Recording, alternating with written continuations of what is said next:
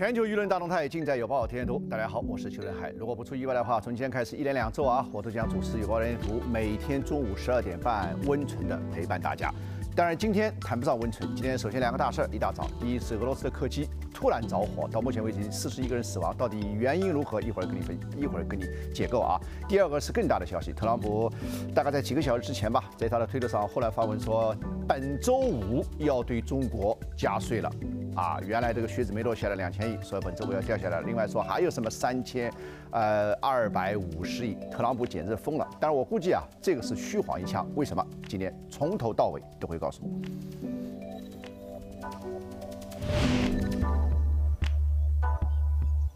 好，特朗普的套路啊，我们大概已经知道了。为什么我们知道了？马上告诉你啊，这个国际聚焦。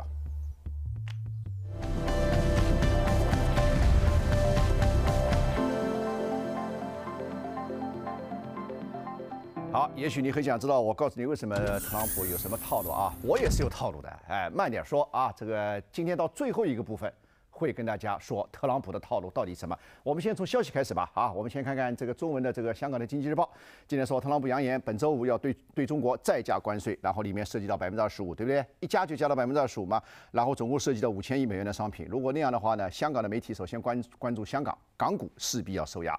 然后我们来看看华尔街日报报道说啊，这个他现在最主要呢是这个呢是 China talk set to resume，因为是如果不出意外的话，五月八号。那么刘鹤副总理要去了啊，在去之前，八号到十号那是三天的谈，所以呢，他就说啊，本本周五正好是五月十号嘛，本周五要的。换句话说，其实就是向向中国来施压。那么这个德国的《明镜周刊》也有一个相同的报道，这就是特朗普的啊，连发几个推文。五月一号啊，我们大家在中国大陆过了这个长周末啊，这个或者小长假。五月一号我们在休息的时候，据说特朗普一天大概发了八十条。发了八十条推特，我也不知道这老人家怎么发的。然后有人给他算过，八十条一个小时得发多少条？这个基本上不吃不喝啊，这个啊，光芒的啪啦啪啦啪发。据说而且他都自己发的，而且到目前为止拼写处越来越少了。这个老人家还是可以的啊，这一点还是可以的，脑筋全部都是坏的。然后我们看看这个彭博通讯社的报道啊，他说这个特朗普发誓啊，这个在跟中国谈判之前一定要增加关税。啊，那么这样一来的话，不管我们认为它套路，但市场还是把它当真的，有人还是把它当真的，对不对？这个，所以呢，市场马上就可以跌了，有的说跌了百分之三十，道琼指数也开始大跌了。那么这样一话一来的话呢，也许对人民币的涨幅也会有一些变化啊。这个新加坡的联合早报这这话有点说大了啊，这个传变变是不会变的啊，这个。以前咱们毛主席说“黄杨剑上炮声隆，我自岿然不动”。虽然那边啊说什么本周五啊还要这样了那样了，我自岿然不动。为什么？一会儿马上告诉你。同时，香港《新洲日报》还有一个报道说，白宫开始泼冷水了啊，为最后贸易谈判施压。那么现在到底在谈什么呢？什么东西是让特朗普觉得不满意的呢？不久以前他不是刚还说过了吗？很满意啊啊，这个如果不能达到最好，至少也是好了。现在最主要的是说那个 trade trade enforcement，就是所谓的一个贸易一个执行机制，他对中国不信任。那你对中国不信任，中国还对你不信任呢，所以其实是一个双方对等的、对等的一个互相监督的机制。好了，这个话咱们就说到这为止了。第二趴、第三趴会跟你做一个详细的分享。咱们同时看看英国的经济英国的金融时报是这样说的：福特公司呢，现在把它的这个一个国际高管啊大量的撤出中国啊，因为这个一个是中国的成本高了，另外一个也许对中国市场信心不足。同时呢，广交会按照南华早报的报道说，广交会在广州举行。同时，美国经济方面啊。这个美国经济方面，现在特朗普要收税，其实收税这东西一定是双刃剑。第三部分会给大家做一个详细的分享。这个按照 VOA 美国经济的报道说，这个美国连续百月就业呃一百个月就业增长，失业率降到五十年来的最低。一方面呢，它对促进生产肯定是有好处的，但对消费肯定是一个巨大的一个一个冲击啊。同时，这个它在这个。经济上啊，这按照《华尔街日报》的报道说，这个经济上啊这个最近也有一些起色，但是同时隐患还是存在的。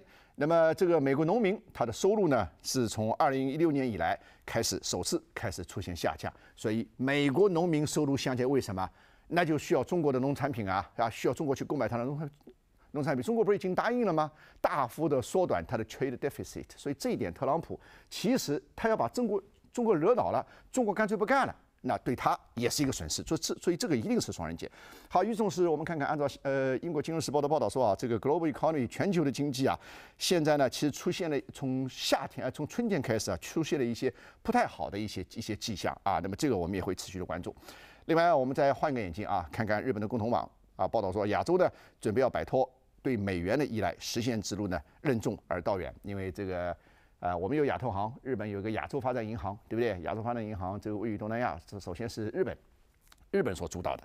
哎，好，另外讲到这个中美贸易磋商或者中美的贸易冲突，我们先不说贸易战了，但与此同时一定会祸及殃及池鱼，比如说欧洲啊、东南亚，刚才我们讲到了，同时呢也会殃及到近在咫尺、跟美国近在咫尺的加拿大。所以为了与化解与中国的一个贸易争端呢，加拿大开始向美国求助了。好了，咱们另外再换个焦点，看看中东局势方面啊。中东局势，加沙地带啊，这个又开始出现了一个火并。那么以色列和巴勒斯坦之间又开始互相开火啊。那么巴那个哈马斯呢，这次主要好像是哈马斯呢，这个希望能够停火，但是以呃其以色列方面呢还是不干。同时不干呢，还有朝鲜方面啊。朝鲜方面最近前几天实施了一个短程导弹，短程导弹这坦率来讲是二零一零年、二零一七年年底。金正恩当时许诺不再进行核试验，不再进行中程和长程导弹之后的第一次，但是他说我没违反我的承诺呢，因为我当时承诺的只是不进行核试验，我做了吗？没做，我只是说不进行中程和长程导弹，我短程导弹不在里面。但是地球人知道，这就说明小金不高兴了，小金有 有怒火哈，或者至少朝鲜同志感到有点失去耐心了，所以这是一。第二个呢？现在按照《香港经济日报》这几天，我们大家都看到了啊，金正恩亲自监督发射火炮啊，也也要开始试验一个新武器了。关键问题啊，他还是在为第三次这个美朝会谈呢，还是做一个试探、做一个探路的工作。那么《南华早报》和那个美国的《星条旗报》啊，都有相同一些报道。所以最近这个朝鲜半岛这个事儿啊，水很深，然后套路呢还是很陈旧。但是水很深，套路很陈旧，我们后面就且行且观察吧。好了，后面以很快的速度帮你梳理一下今天国际间。你同样需要知道的另外一些消息。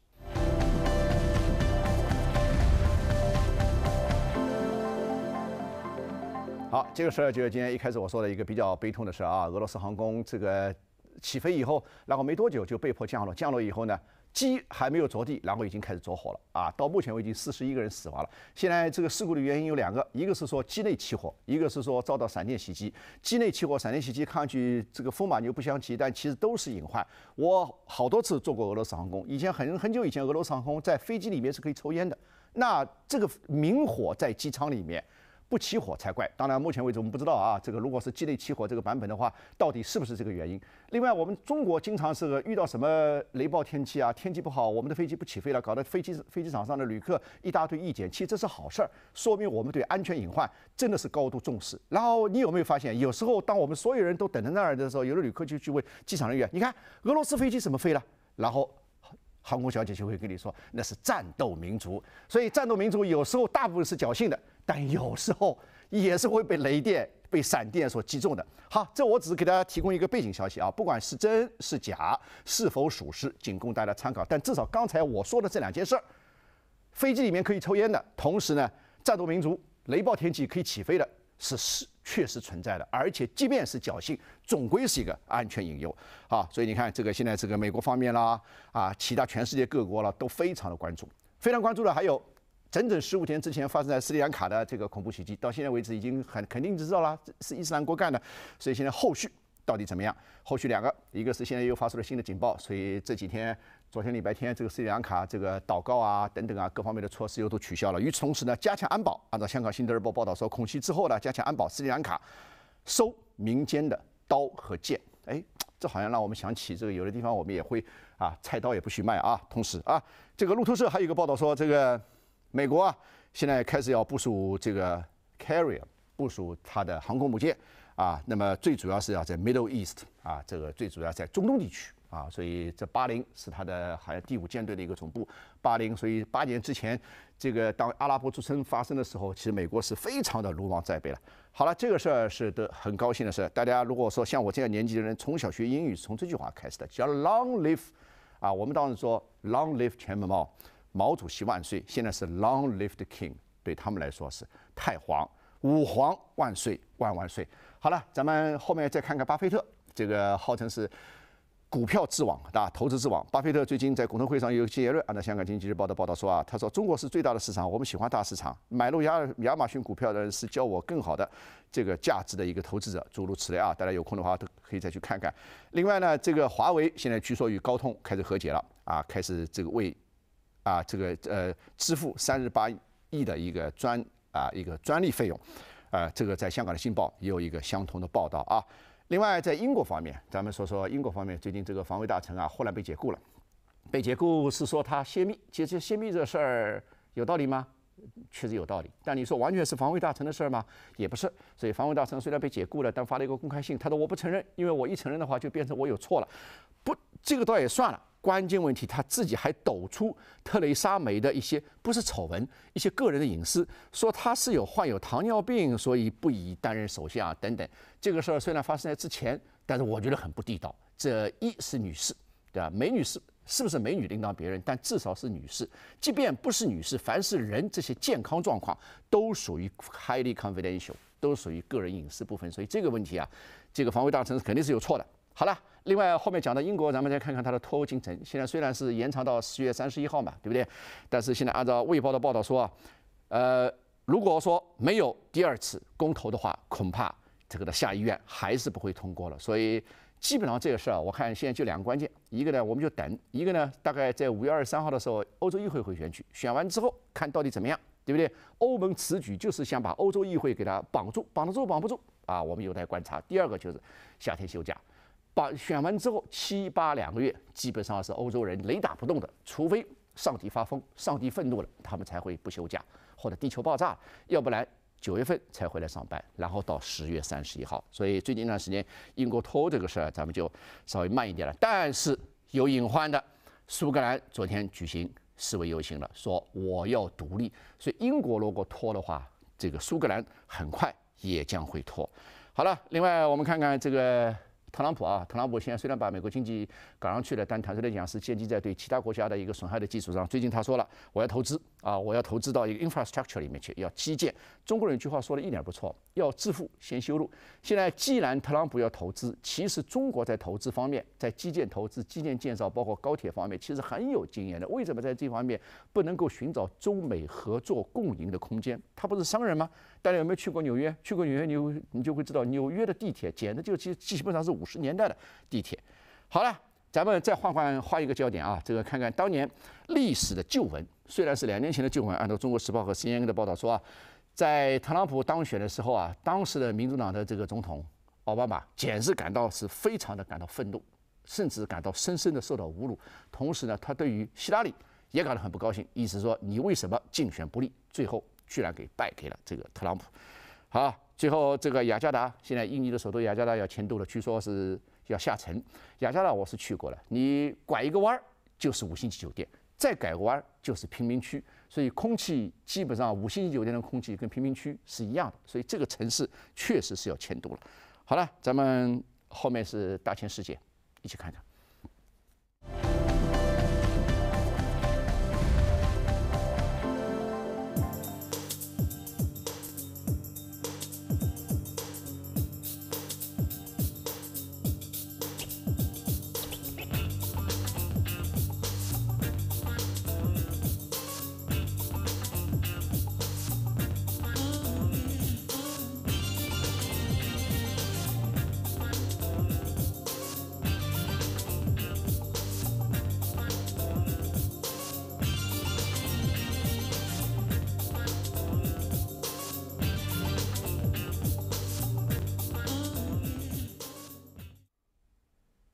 看完大千世界，看完印尼迁都，我们先休息一下。广告之后告诉你中国经济的一些事，马上回来。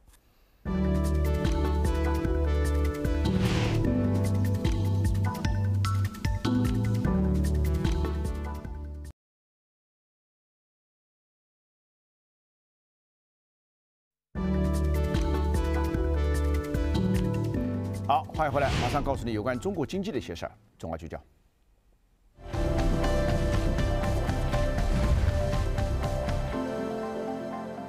好，讲到经济啊，我们往往既有实体的，对不对？然后其实无论是服务业啊啊，还是服务业，其实背后的很多的一些载体啊，现在技术手段都是互联网，所以这些我们都称之为叫。Digital economy 就是数字经济，或者有人叫数码经济。我们先看看啊，香港文汇报有个报道说，第二届数字中国建设峰会今天在福州开幕。那么，到底中国在数字经济方面发展的情况怎么样？在全球占什么样的地位？台湾旺报有个报道说，他说大陆啊创新指数在全球占至第十七名，好像还还可以哦，对不对？所谓的创新指数就是你的投入和产出之比啊，创创新产出之比。然后它是唯一的一个中等中等经济体。然后另外还有一个报道说，大陆的这个数位经济啊，就是数字经济啊，成长。超过美国啊，世界之最，它是讲成长的速度啊，并非讲目前的整整体的一个规模或创新的一些内在的爆发力。但是速度也是说明一个非常强的一个超越的超越的一个指数。同时呢，我们看看《环球时报》还有个报道说啊，说中国成为发展中国家一个首选的一个科研伙伴。那么有一个叫 Nature.com 就自然自然杂志，它的一个网站说，他说中国是怎么样重新改写或者重新重绘。世界科学的一个地图了啊，所以这方面其实我一直讲，中国可以弯道超车啊。这个呃，弯道超车所谓的概念，就是抓住这一轮第四轮或者第五轮科技革命、智慧智能化的一个潮流啊。这个勇敢的使中国经济的结构能够有所转型啊。那么另外，这个南华早报还有报道说啊，这个在这个生物科技方面啊，那么中国现在也开始。这个制定一些很严严厉的法律来规管有关生物科技方面啊，生物科技其实它也某种程度也是个双剑，一方面能够有助于人类，但如果弄得不好，在伦理各方面也许会有些损害的效果。这方面中国以啊这个措施来予以规管。同时，广交会“一带一路”的订单增加了一成啊。另外呢，这个事儿要给大家重点说一说。现在中国人民银行从二零一九年五月十五号，黄友豪说再过十天以后啊，开始对中小银行实行较低的存款准备金率，开始降准了。降准说明其实开始适度的啊，这个并非大水灌漫，但是适度的放水，这意味着什么呢？这华尔街华尔街见闻说罕见，中国的央行 A A 股盘前啊，对中中小银行这个降准要释放两千八百亿的一个资金。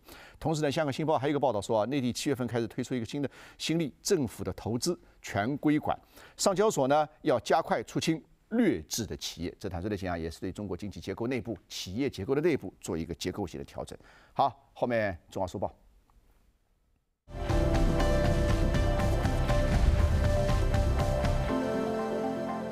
中央书报还有一个香港卫报报道说，中央出台意见，力促城乡融合的发展。同时呢，在户籍管理方面啊，户籍制度这是一个计划经济时代的一个留下的产物，到底好还是不好？到底如何如何进行改革？香港的《新报》和《明报》有所报道，《新报》的报道是这样说的：放宽户籍管制，二三线城市。明显的受惠。《明报》的报道说，二零二二年之前，城市落户限制将要逐步的取消。与此同时呢，房地产始终是虽然上房地产已经不是未来十年大家投资和中国经济发展的一个主要支柱，大家也还是引起大家非常的关注。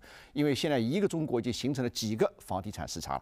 那么这个香港经济日报的报道说，二十三个城市的楼市过热，这个收紧楼控预期开始升温啊。这个当然是这个二十三个楼市过热也不好。过人也不好，如果过热的话，往往在一二线城市啊，这个城市呃，这个楼价这个上升过快。但如果在三四线、四五线城市呢，又需要去库存，所以我跟你说，一个中国几个房地产市场。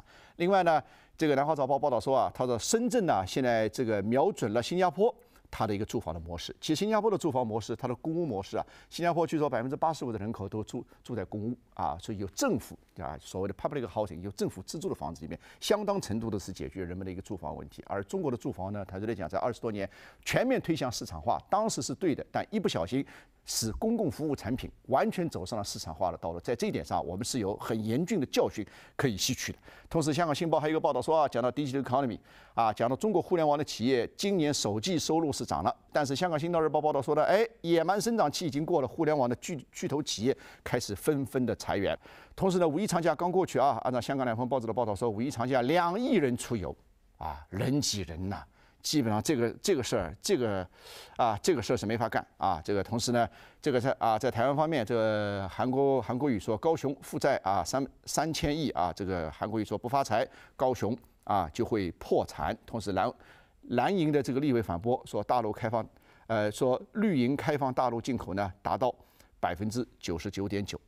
好，最后告诉你啊，郭台铭现在不是号称要选台湾领导人吗？那他的红海公司怎么办呢？现在据说他有一个财务大臣啊，叫黄秋莲，有可能要接班。至于他的总经理，另有他人专任。好了，我们休息一下，完了之后马上跟你说说特朗普现在下的这个威胁到底玩的是什么套路。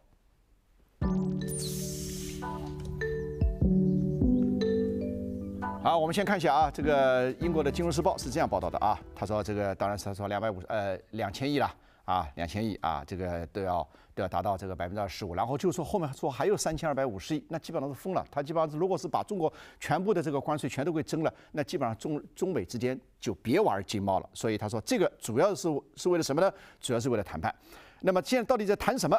为什么令他这么不满意啊？那么这个英国金融时报报道说，最主要是有关啊这个。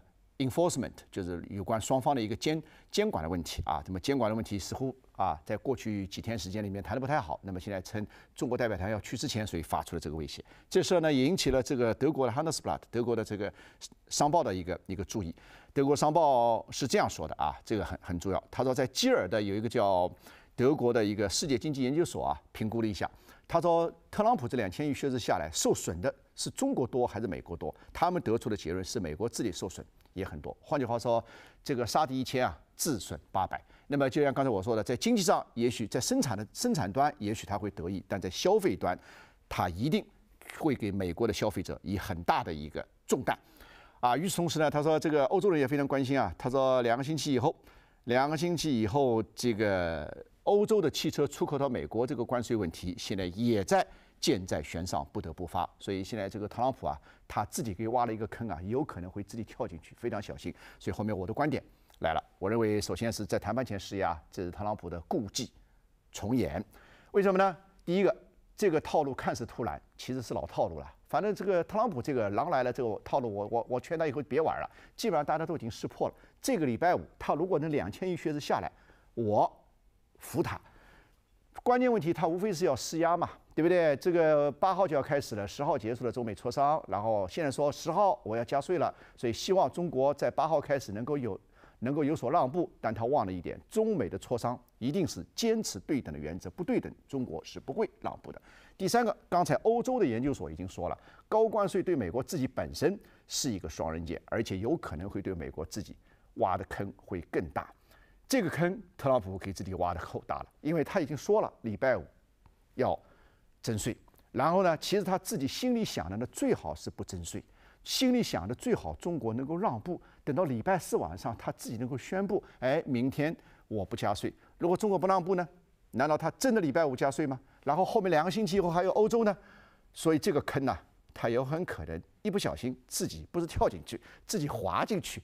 礼拜五以后我们就看到自己怎么从坑里面爬出来吧。有报天天读，明天见。